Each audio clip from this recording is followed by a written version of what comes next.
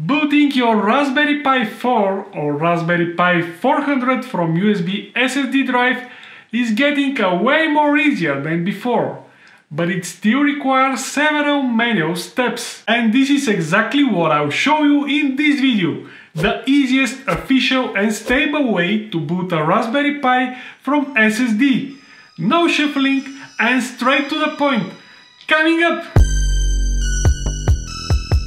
What's up, Kiril Peyanski's here. As I already told you, we are not going to waste any time here and we are going straight to the things that you will need to successfully boot your Raspberry Pi 4 or Raspberry Pi 400 from SSD. You will need a micro SD card just for the initial part, but we will remove it later.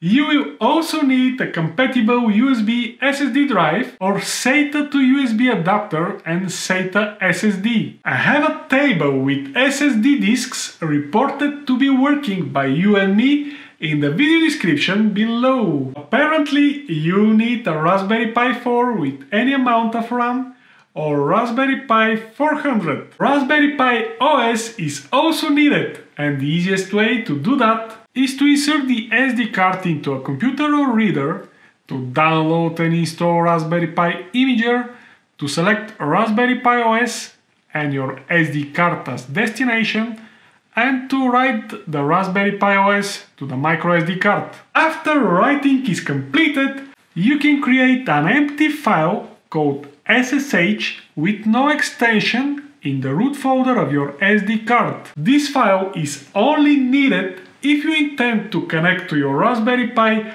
over the network and not to use a monitor, keyboard or mouse, then you have to unplug and plug the card in your Raspberry Pi and power it up. When the Raspberry Pi boot in its operating system, start the terminal or connect to your Raspberry Pi over SSH. And be ready for some console fun that I'm about to show you right now.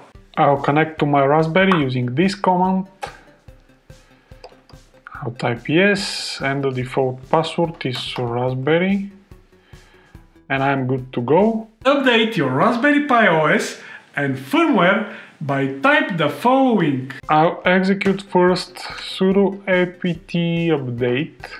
After that sudo apt full upgrade I don't have any packages to be upgraded, so I'll continue with sudo rp update. I would like to proceed. One minute later.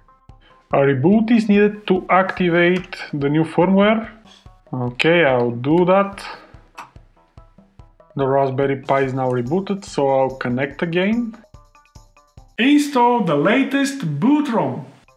And now paste the following command sudo rpi-eeprom-update minus d minus a and I'll hit enter.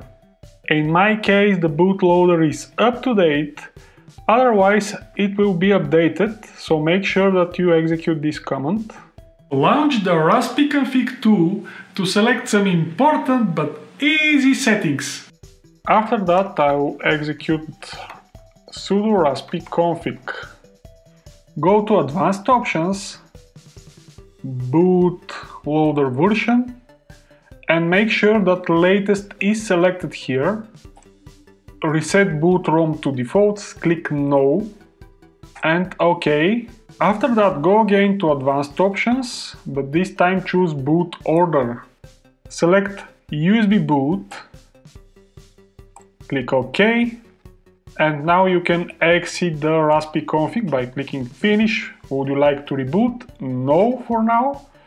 And now you have to clone your SD card over the USB device. The best way to do that is to use the SD card copier from the Raspberry Pi user interface. Now, launch the SD card copier from the accessories section, plug in the USB drive into your Raspberry Pi and click on the Raspberry Pi icon, Accessories, SD card copier.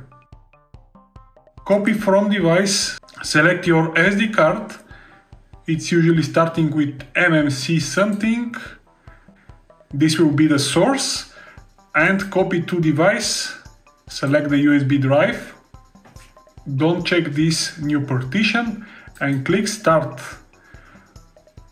Yes, and the process should take around 10 to 20 minutes.